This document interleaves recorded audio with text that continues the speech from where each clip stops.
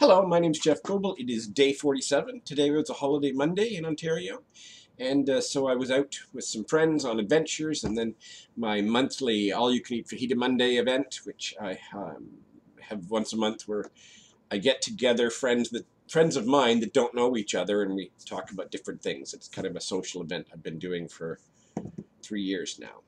But today I want to just quickly talk about YouTube videos and I'm not an expert. I'm only on day 47 of creating these. But I want to say it's an interesting phenomenon. There are a few people who are watching these videos daily, and I know about them because they like content or they plus one it on Google or they reply. They make a comment. And then there are a few other people that are watching them in binges, you know, now and then, and there are a few strangers watching them referrals from giveit100.com who might watch a specific day. And I understand very few people are going to watch all of these because most of them are boring. I don't have content yet. I'm just talking to the camera on my own personal journey of becoming a YouTube personality eventually, but currently working on a job search project which isn't really going well. So 47 days of a job search project where I've done maybe two hours work in 47 days. But the interesting thing is, I really love it when somebody comments, and nobody comments. And that was really the thing that I most feared. For two years, I didn't make a single YouTube video because I was terrified that people would comment and I would be crushed or hurt or devastated. And now that no one's commenting, it's worse. I can imagine, I never did stand-up comedy, but I thought about it. I wrote a few routines, and a lot of people said to me, oh, you should be a stand-up comedian. You know, you hear that. But I couldn't stand the idea of standing up and having people not laugh in the audience. It just, that fear was big enough to stop me from doing it. And when I talk into the camera, there is no audience. It's like a, um, well, it's, it's like nothing, really.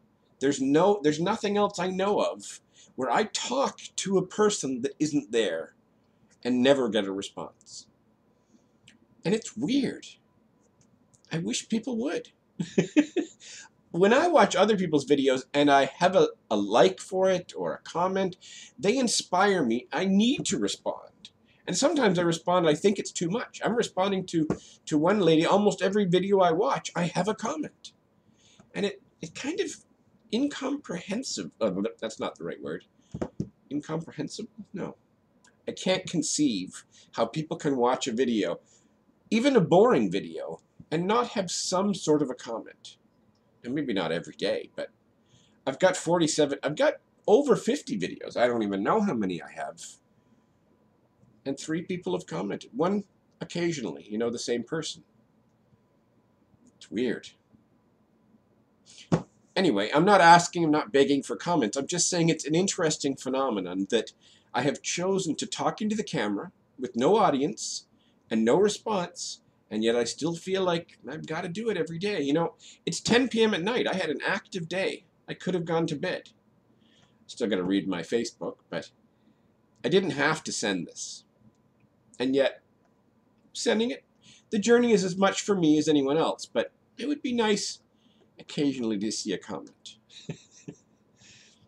now I feel like oh, I shouldn't say that. It's like begging, my brain floods with the negative thoughts again. Anyway, sorry.